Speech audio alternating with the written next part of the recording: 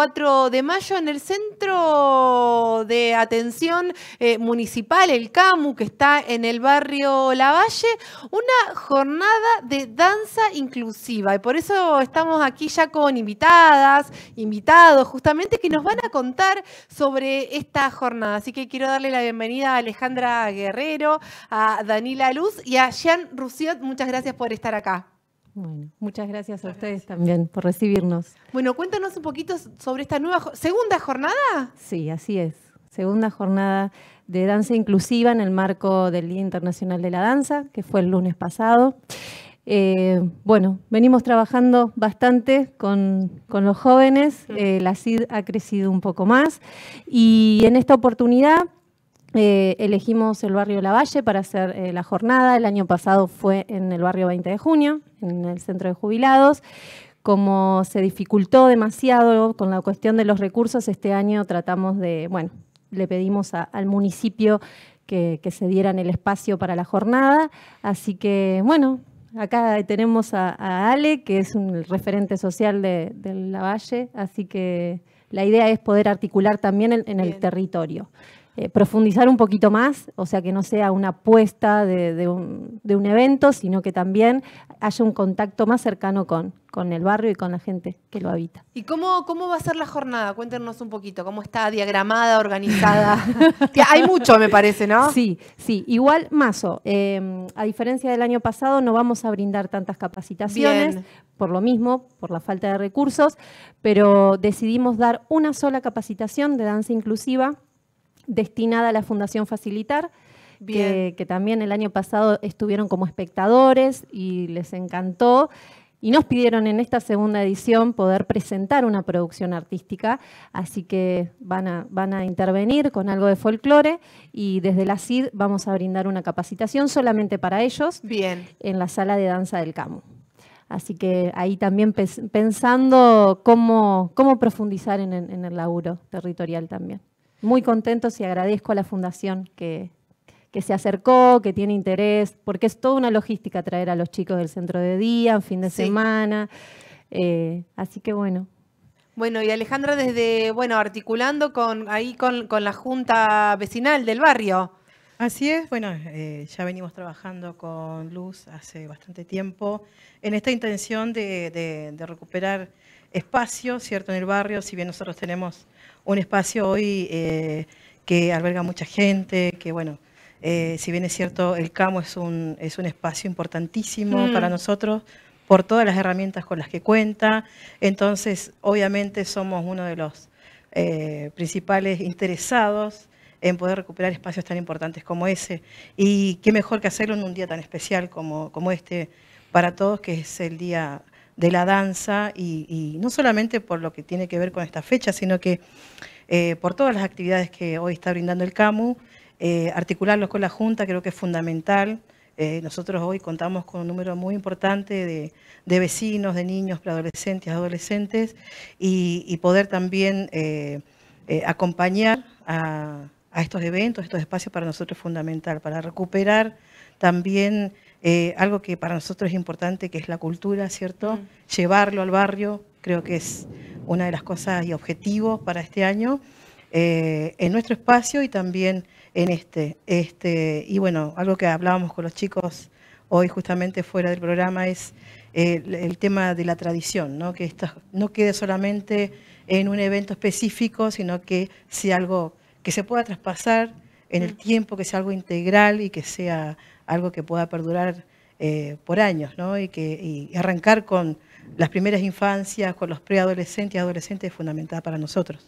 Bien, y Jean, ¿cómo, llegaste vos a este, a este mundo? Eh, bueno, yo eh, principalmente no soy alguien que participa mucho de, de, lo que es la danza porque nunca me llegué a integrar, por así decirlo. O sea, bailo por diversión y porque me gusta y bueno, no es como que tomé una carrera o tomé alguna clase nunca, simplemente porque descubrí algo que me encanta. Descubrí algo que es el K-pop, que bueno, que hoy en día, bueno, es, es un poco conocido, no, no mucho acá, pero, pero sí en general me atrapó mucho lo que es el, baile, entonces mm. es lo que lo que quiero hacer, lo que me gustaría eh, con la carrera hacer. Está bueno. Sí, está y bueno. la iniciativa también que tuvieron este año de acercarse a la CID para, para poder gestionar con nosotros también un trabajo en equipo, colectivo.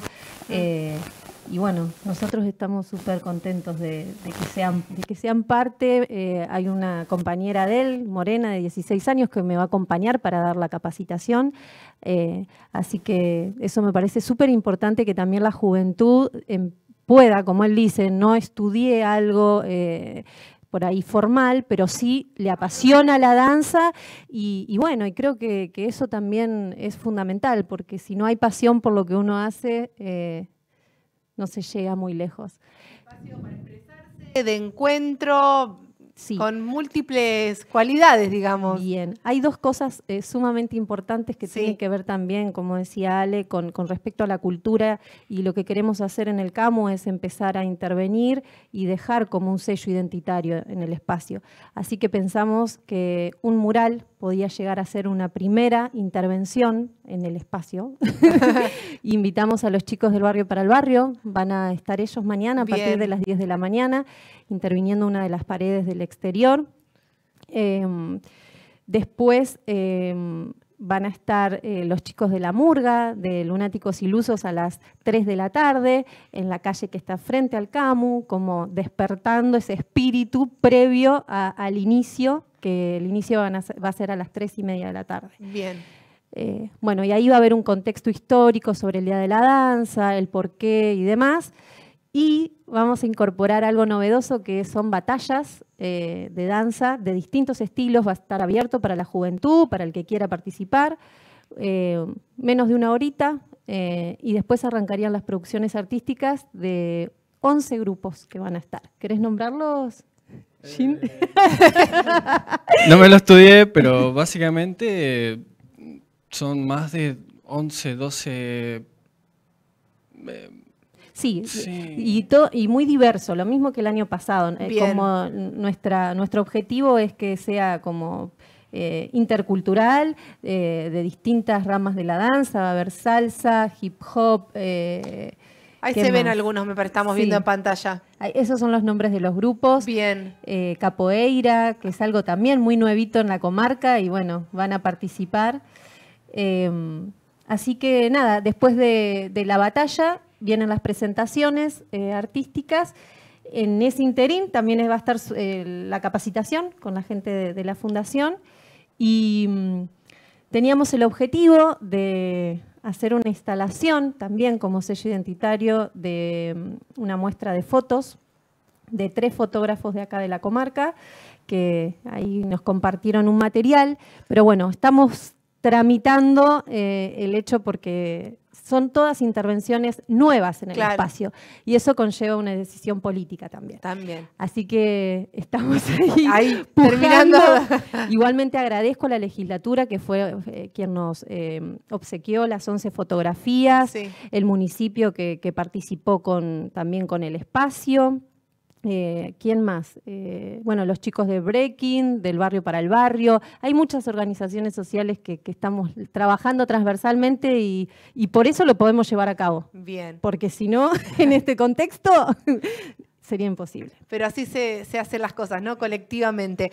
Invitación hecha mañana a partir de las 10 de la mañana con el mural que se va a Sí. empezar así y después eh, a partir de las 15 horas también con la murga y ya después con toda la grilla que está Sí, preparada. Hasta las eh, 8 de la tarde. Hasta las 8 de la tarde allí en el campo. Muchísimas gracias por estar acá y No, contarnos bueno, eh, los detalles de esta organización que Ujú. lleva eh, poner el cuerpo y su tiempo, obviamente, y estaremos allí en contacto. ¿Algo más puedo Sí, compartir? Dale. Eh, hoy nos entregaron la declaración de interés eh, cultural en el Consejo Deliberante, así que también estamos muy contentos porque nuestra idea es poder sostener todos los años esta jornada de danza inclusiva. eh, y que esté esta declaración es como que también nos, nos habilita a, a tener mayor visibilidad y, y compromiso, porque no es solo un evento y un festejo, sino es un compromiso con, la, con el barrio, con la comunidad. Eh, Así que bueno, eh, van, sucediendo cosas. Más allá de todo el contexto, eh, pasan cosas lindas. lindas exactamente. bueno, muchísimas gracias y todos los éxitos para mañana. Bueno, gracias.